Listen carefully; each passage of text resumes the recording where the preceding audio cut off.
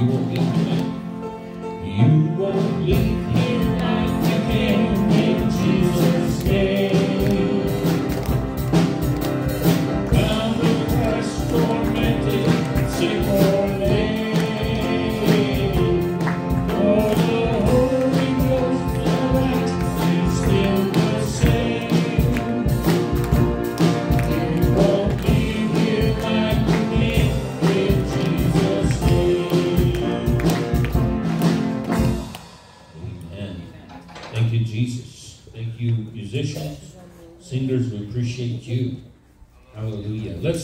our Bibles to the Gospel of Matthew chapter 7. Matthew chapter 7. Hallelujah.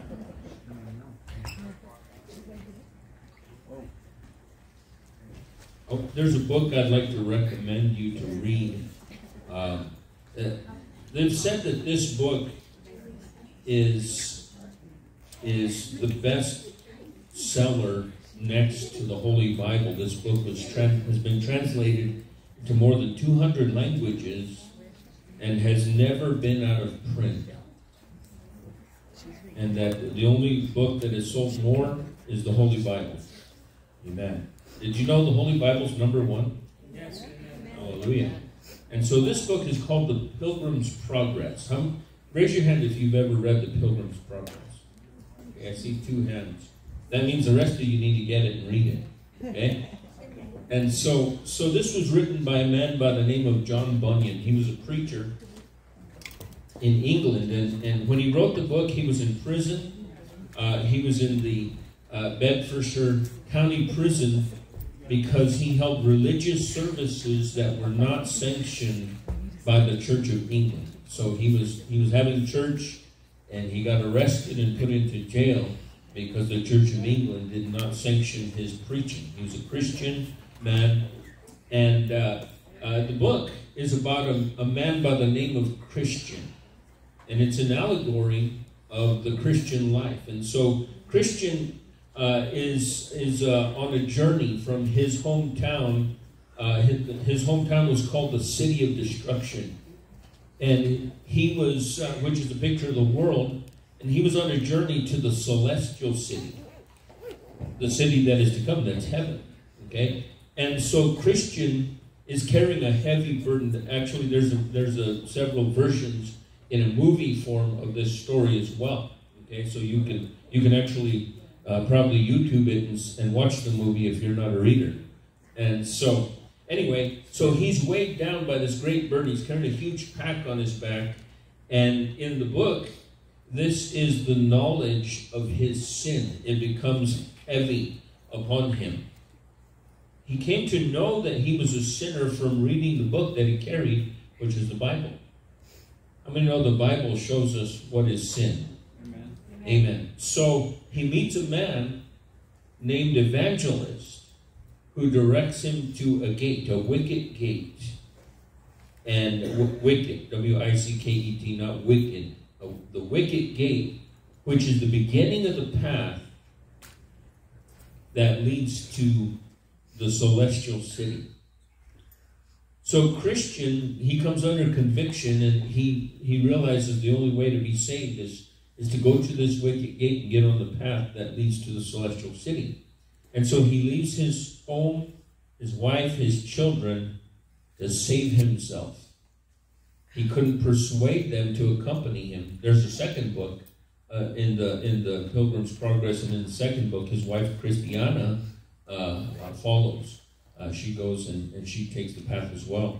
So anyway, so this story is about the, the path that, that Christian takes. The rest of the story is about his life as a Christian, the adventures, the obstacles, the diversions, the temptations, and his ultimate victory uh, to be able to enter into the celestial city. So it's an allegory. It's a picture of what the Christian life is is like. Amen. And so, and so. Um, Praise God. I recommend that book, and I'm mentioning it because a Christian begins a journey that is going to lead him into heaven, and you and I are also on a journey. That leads us into heaven. Amen. We're on a path. It's the it's the, the path that leads to life that Jesus spoke about. We're going to read uh, in Matthew 7, verse uh, 13 and 14 about this in just a moment. I want to preach a message I'm, I'm entitling The Highway to Heaven. The Highway to Heaven. Amen. So let's read in our text. It says in verse 13 of Matthew 7, it says, Enter by the narrow gate, for wide is the gate, and broad is the way that leads to destruction. And there are many who go in by it, because narrow is the gate, and difficult is the way which leads to life. And there are few who find it. Let's pray. Father, we ask for grace. I ask for your help, the anointing of your Spirit to bring a clear sounding word to your people, to those who have gathered here. I pray that uh, you would help us all, O God, in our journey. Help us to be able to make it all the way into your celestial city, that heavenly city that you have prepared for those who love you, God. And Lord, we ask that you would uh, visit us this day, bring understanding in every heart. Lord, and if there be any here who are not saved, open their hearts to receive Jesus as their Savior. In Jesus' name, amen. Highway to heaven. I want to, first of all, talk about the low road to hell. Amen. If you're going to talk about heaven, you're going to also have to talk about hell. And so, in Jesus' words, he said, Enter by the narrow gate, for wide is the gate, and broad is the way that leads to destruction. He's talking about hell. And there are many who go in by it. Now, I just want to just say a few words because I'm not preaching about hell. I'm preaching about the highway to heaven. But I just want to say a few things. Jesus said that the way to destruction is wide. He said the gate is wide and the way is wide. And so I just want to say a few things. One is it, it is very easy to go to hell. The way is wide, the gate is broad, and he says many there are that are going in that way. The truth of the matter is, every one of us before Jesus were on that road. Amen. Amen. You, have you heard the term slippery slope? We were on it. We were sliding. Some of us were on a greased pole on our way to hell. But God had mercy on us. It's easy to go to hell. You, all you have to do is do what comes naturally. Amen. The natural man starts out innocent, a little baby. No, no, no, nothing. Just completely innocent. But that innocent child quickly learns to be selfish, to be disobedient, to be rebellious, to lie, to cheat, to steal. And nobody has to teach them. Just it, it just comes naturally. That's why parents need to discipline their children. Amen. It's not being mean. You're not being mean because you discipline your child. The point in disciplining a child is to teach them so that they can learn to discipline themselves. Amen. So that they learn self control. Amen. Haven't you ever been in the store and you see a kid just tormenting his mother? I have. I'm like, man, I just want to go slap that kid. And then slap the mother. I say, why don't you discipline your child? No, I, I wouldn't do that. But if you let a child do and have whatever they want, what you'll end up with is a wild child. Amen. Or otherwise known as a spoiled brat. And, and uh, people won't like their children. Amen. In Ecclesiastes 11, uh, verse 9, King Solomon had some very sound words for young people. He said, Rejoice, O young man, in your youth, and let your heart cheer you in the days of your youth. Walk in the ways of your heart, and in the sight of your eyes. In other words, do whatever you want. Enjoy yourself. He says, but know that for all these, God will bring you into judgment. That's right, amen. Amen. So, you know, disciplining your child can help them to stay out of hell. Praise God. And so all we have to do to go to hell is just be ourselves. That's it. Just do what, what comes naturally. And if you do that all your life, you will go to hell. Does that mean? No. Well, it- eh, you might think so, but it's the truth. I did what I wanted. You know, I didn't learn to discipline myself until after I got saved. My parents did their best, but it wasn't good enough. I had to get saved. Amen. So it's easy to go to hell. Jesus said the, the path to hell is wide, it's smooth, it's like a super highway.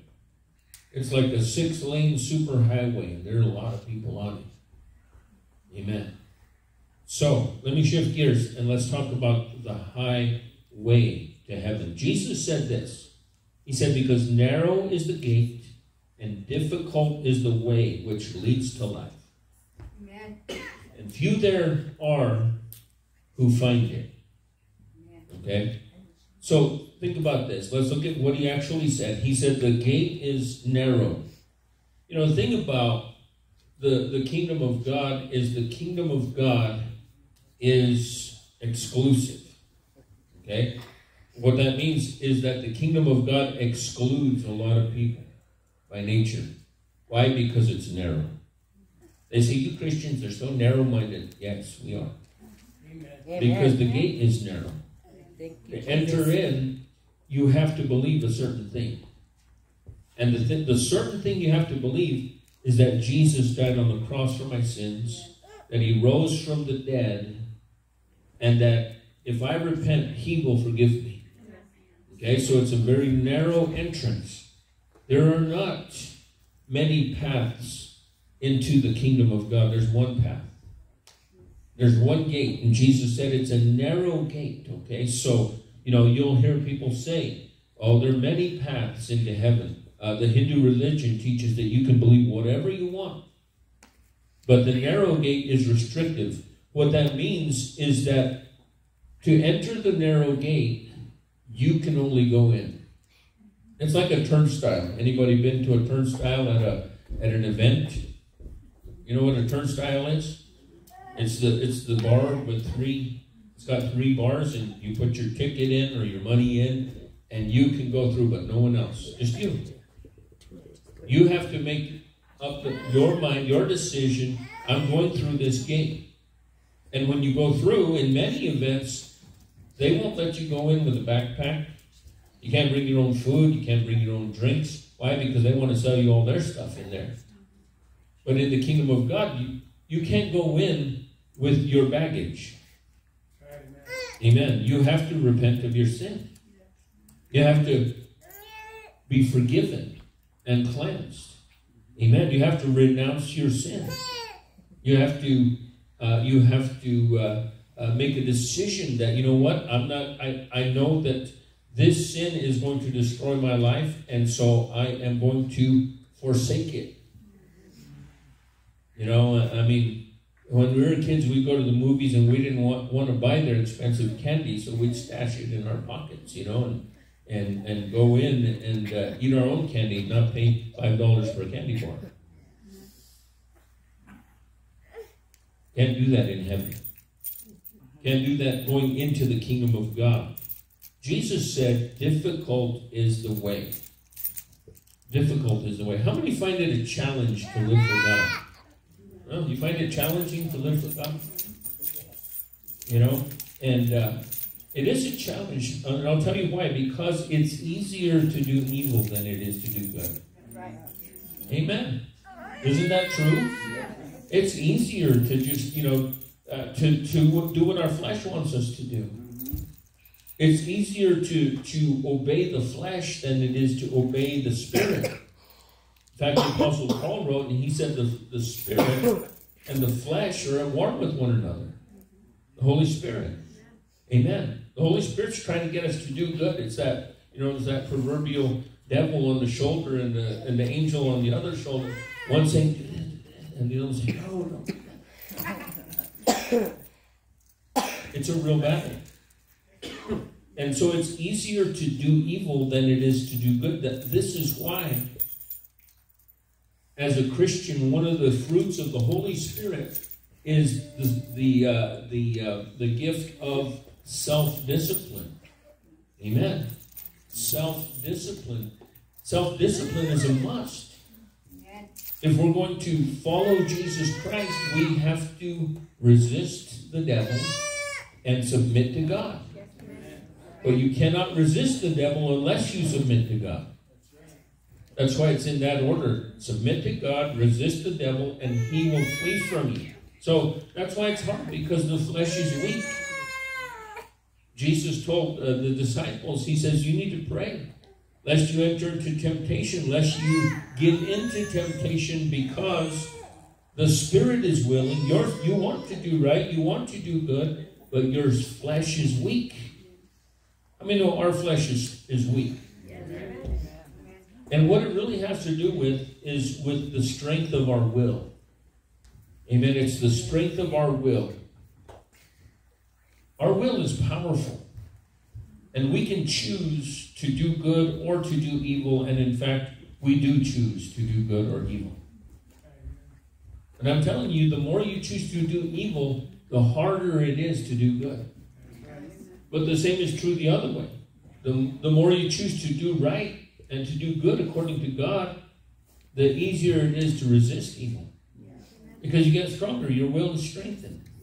Amen. This is this is one of the keys to overcoming addiction. And that, and that is that you replace your addiction to evil with your addiction to good. Habit. Has to do with habit. Habits are formed by repeated action. Amen. That's why the more you come to church, the stronger you get. You know, it, it's, a, it's a choice to come to an altar and pray about things that are happening in your life. If you're struggling with something, if you're weak in an area, you know, and, and God's dealing with you about it, when you come to church, come to the altar and pray about it. Amen. You know, don't, don't be content to stay in your chair. Come and, and bring it to God and lay it at the cross. Say, not my will, but yours be done. Amen. so the, the hardest part, I think the most difficult thing is to make up your mind to serve God, to follow Jesus all the way. Amen. Amen. All the way. We are talking about Judas this morning in the in the Sunday school and how, you know, Jesus said, I've chosen the twelve of you. Talking about his apostles. And he says, and one of you is a devil. And then John goes further and says he was talking about Judas. You know, because Judas was the one who betrayed him. You know, John's looking back through history and he says, yeah, he was talking about Ju- Judas at that time. He, no, none of them knew before and who it was except for Jesus. I don't believe Judas even know, knew that it was him yet. And in that is the potential that we all have to do wrong. I mean, we all have great potential to do evil we can still do just as much evil as we did when we before we were enlightened. Before we got saved, we can still be very wicked. We can still be very evil. And so so we have to learn how to exercise our will to follow Jesus. And that's not so easy, is it? So as you learn about Jesus, one of the things that happens as you come to church, you hear the preaching of the Word of God, you you you begin you soak it in, and you know. Let me just say, when you come to church, come with this attitude. that I want to learn something from you today, Lord. I want to I want you to teach me your ways. I want you to speak to me. And if you do, if you come with a heart that's receptive and open, God will show you things. Amen. The Spirit of God will show you things. It may not even be what the preacher preached on, but the Spirit of God can show you stuff. Amen. I remember uh, one of my pastors said that he was preaching a sermon on tithing, of all things, and, that, and then this couple come up after church and say, "You know, while you were preaching, Pastor, we got really convicted, and we're living in sin. We want to get married." what? we preach on tithing, but God dealt with them about getting married. See, God can do that. Amen. So come with an attitude of spirit that says, I want to, I want you to show me something. So one of the things that happens as we grow in Christ is we begin to develop personal moral convictions. Amen. And that is about what is right and wrong, what is good and evil. And when you start to learn what the Bible says about certain things, and you begin to agree with God and, and allow God to change your mind, what happens is God begins to build within you moral character. Amen. Moral character. An excellent moral character. That you are now able to not only know the difference between good and evil, but you're able to do it. You learn a new way of living. It's a lifestyle change. You know, they say if you really want to lose weight, it requires a lifestyle change. And I don't like that. Because that means no tortillas, no chicharrones, no, you know, no sopapillas, no, none of those things that I love. However, you know, it's a lifestyle change when you serve Jesus. Amen. Amen. You learn that you can't hate people. What? You can't hate people. What do you mean I can't hate them? No, you can't hate them. Jesus said, Love your neighbor as yourself. And then he went further and he said, Love your enemy. What? What do you mean, love my enemy? We have to do what he did. He loved us when we were still sinners. He prayed for those who were crucifying him. Amen. He's looking at the people who tormented him, lied about him, uh, uh, wrongly convicted him, and had him hanging on a cross suffering, and he prayed for them. He said, Father, forgive them, for they don't know what they're doing. They're ignorant. Instead of hating people, you should pray for them. Pity them. Some people are very hard to love, aren't they? They're prickly like a porcupine. You know? And, and they're mean. But we have to learn to love and learn to forgive. Those are, sometimes that's harder than quit smoking pot or cigarettes or, you know, letting go of an addiction.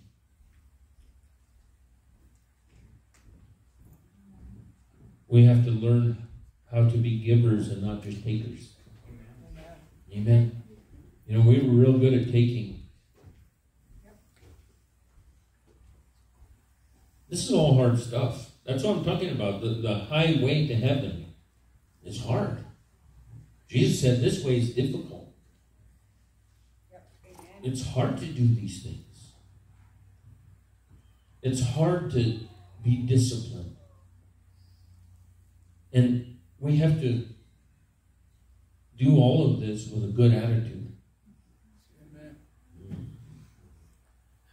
We don't like that. I'll do it, but I'm not going to be happy about it. You want me to love my neighbor?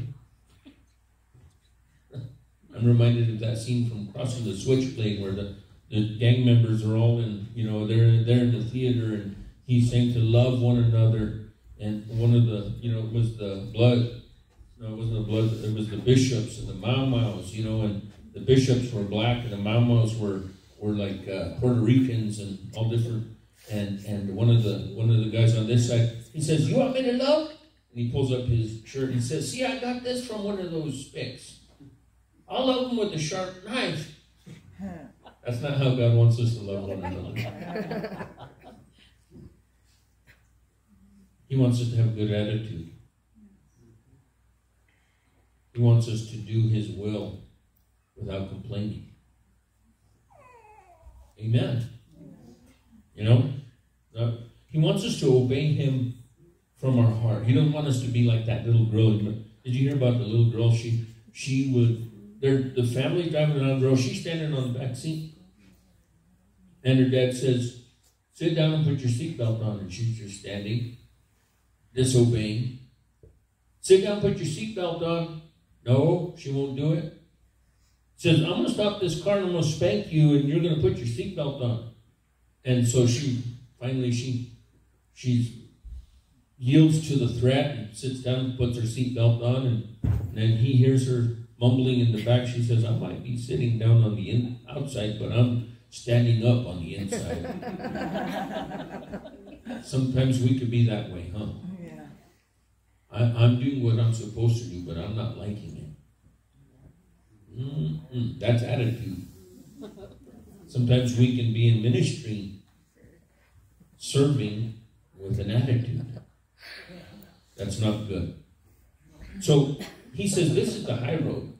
This is the road I want you to walk on. This is the road that leads to heaven. He said, This is a difficult road. It's the highway, not the low way. You know, we know where the low way goes, right? The low road leads to hell. He calls us to live higher, to a higher standard in our lives. Amen. Amen. He said, Don't even look at a woman to lust after her. Because if you do, you already sinned. Uh, I, I, you know, you go to any construction site and tell the guys there that, they'll think you're out of your mind. And he says you, you need to have a good attitude and don't be complaining about it. And at the same time, we're to help others get onto the high road and help them to stay on the road till they make it to heaven. It's hard. It's a hard way. I want you to think about this because to be able to do this, we need God to help us. Amen. Because in ourselves, we, we can't do it. We'll be like that, that one guy. I'll love him with a knife. I- I'll love him. I'll show you. And the, the truth is, the only way we can stay on this highway to heaven is if God helps us. Amen. You know, when you look at what's required and you think about doing this in your own strength, you're like, no way. I can't do this. You're asking too much from me, God. And you know, the thing about Jesus is that he never asks us to do something that he didn't do. He did all these things. Amen. He never sinned. He was tempted, but he didn't do it. He was a man of prayer. He honored God with his life. He loved his enemies. He forgave them. He helped people who couldn't help themselves. He helped people who could do nothing for him. That describes every one of us. So when you look at what's required to walk with God and do the things that He says are necessary, it's very easy to despair and say, it can't be done. And I'm telling you that it can't be done in our own strength because we need God to help us. Amen. Amen. So we come to realize I can't do this. I need help, and I have good news for you. Our help comes from the Lord. Amen. Listen to uh, Psalm Psalm one twenty one. It's a short psalm, so I'll read the whole thing to you. It says, "I will lift up my eyes to the hills. From whence comes my help?" Question mark. My help comes from the Lord, who made heaven and earth.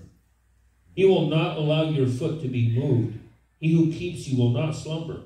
Behold, he who keeps Israel shall neither slumber nor sleep. The Lord is your keeper. The Lord is your shade at your right hand. The sun shall not strike you by day, nor the moon by night. The Lord shall preserve you from all evil. He shall preserve your soul. The Lord shall preserve your going in and your coming out from this time forward, or, or uh, from this time forth, and even forevermore. Amen. What powerful words. My help comes from the Lord. In Isaiah 40. It says, Have you not known, verse 28, have you not heard the everlasting God, the Lord, the creator of the ends of the earth, neither faints nor is weary?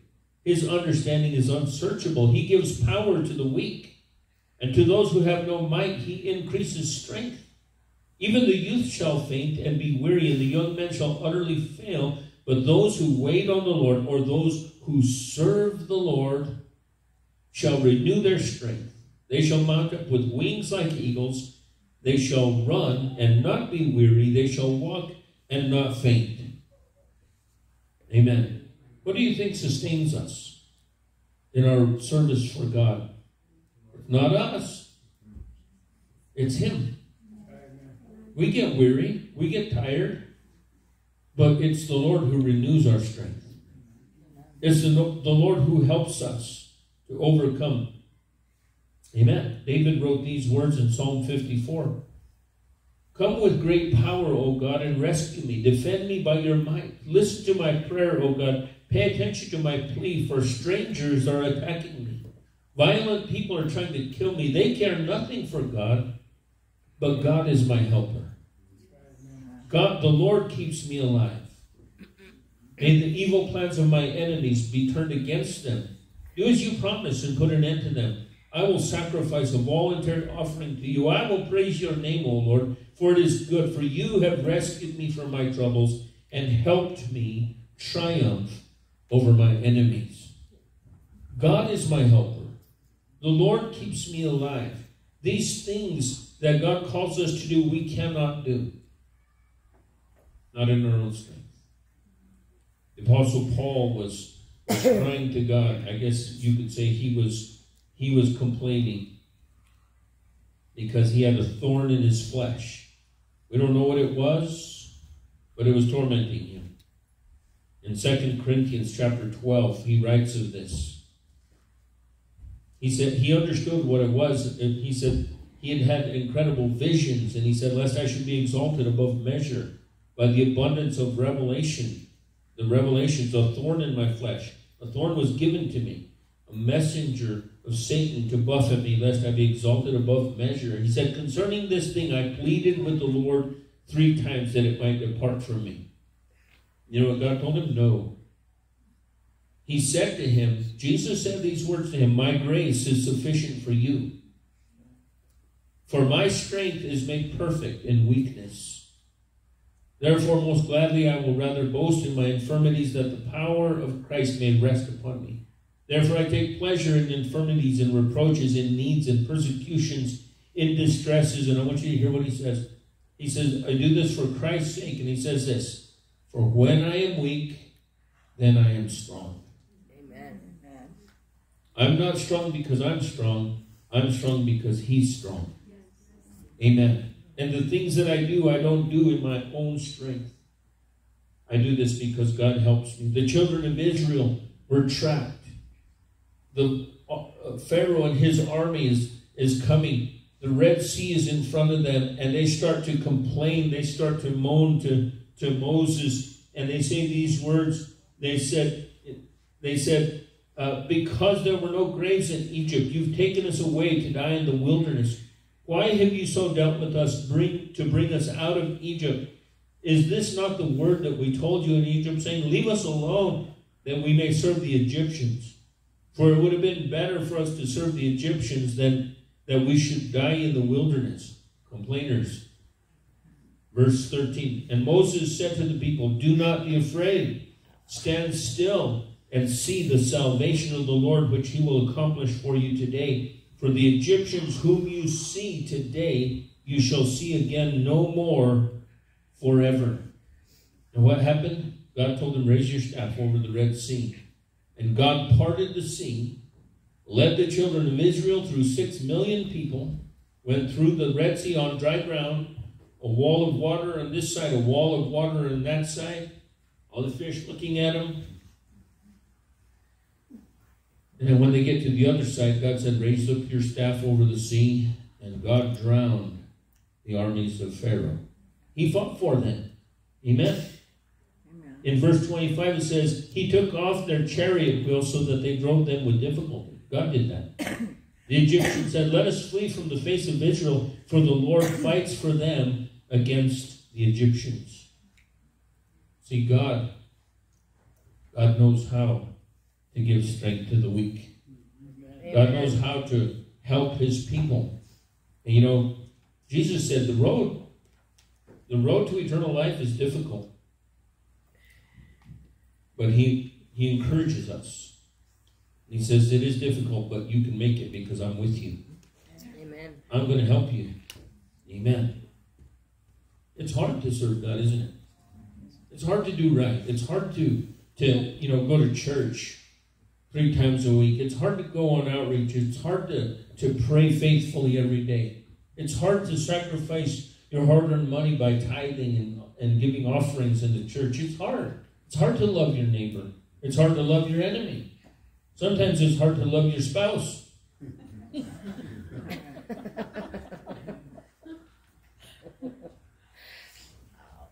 but the truth is, God helps us.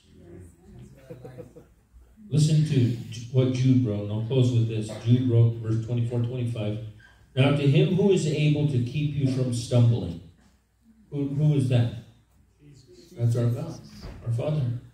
And to present you faultless before the presence of his glory with exceeding glory. To God, our Savior, who alone is wise, be glory and majesty, dominion and power, both now and forever. Amen. He is able to keep you from stumbling. Sometimes we slip and fall. Read Pilgrim's Progress. It's a, it's a great book because, you know, in that there are many diversions, many, uh, uh, you know, forms of resistance, false teachers, all these various things. But God helps him and sees him through. Jesus said, Difficult is the way which leads to life. The high way to heaven is a hard way. But He didn't call us onto this path and expect us to do it ourselves. He called us and He's given us everything we need to be able to make it to heaven. And so I want to encourage you trust in the Lord. Make Jesus number one in your life. Seek first the kingdom of God and his righteousness, and all the things that you need will be added to you. All the strength you need will be given to you. Because you may not know this or not, but I'm going to tell you God wants you to go to heaven more than you want to go there. And He will give you everything you need to make it. Amen. You look at the, the things you're struggling with now. We all struggle with something, don't we? Put it in God's hands. Let Him help you. Let Him deliver you. The things that you look at, they look like mountains to you. Bring them to the Lord in prayer, and you'll, you'll find that we serve a God who knows how to level mountains. Amen. He knows how to make the path smooth. Amen. Let's bow our heads together as we bring our service to a close. We really appreciate you tonight, today coming to church. And I was praying, I said, Lord, give me something that's going to help your people, that's going to encourage them, that's going to just show them the way and give them the strength to be able to serve God. I know it's hard. And I appreciate you coming to church this morning. I know it's an effort to get up to make it. But I'm here to tell you that, that we have a God who, who is invested in us we have a God who loves us and who has committed himself to help us make it.